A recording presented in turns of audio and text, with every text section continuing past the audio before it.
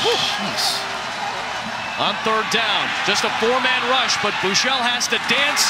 This time Granson holds on and breaks free into Cougar territory. Three different receivers have a grab. This time it's the tight end. Buechele riding the read, finds the tight end Granson for a touchdown. Yeah, you're still in this game. Reverse, flea flicker, Buechele lofting it for the end zone, looking for Granson, who makes a circus catch. Are you kidding me? A flea flicker touchdown, and SMU is still alive. Buechele going over the top, he's got a touchdown.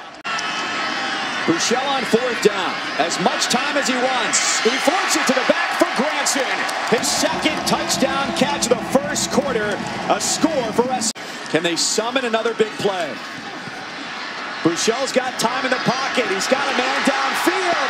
And SMU has a touchdown. Makes a mistake there, cost him 15.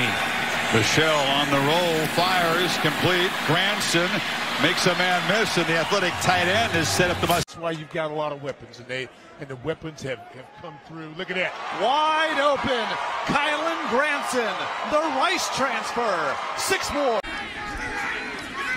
Try to get to 10 wins. Wide open, and the catch made by Granson, the tight end.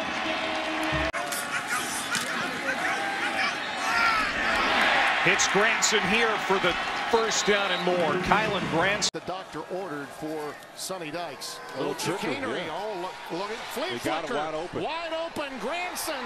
He's got it. And, Attack the grass. There and you they go. go, They got right it. for Granson again. This guy's made big play after big play. out with them when drills were over.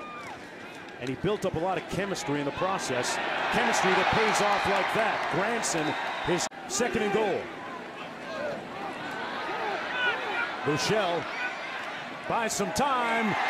Touchdown! Granson.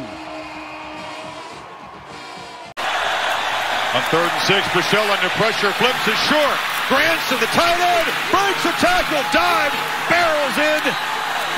Touchdown, SMU, and they take it all.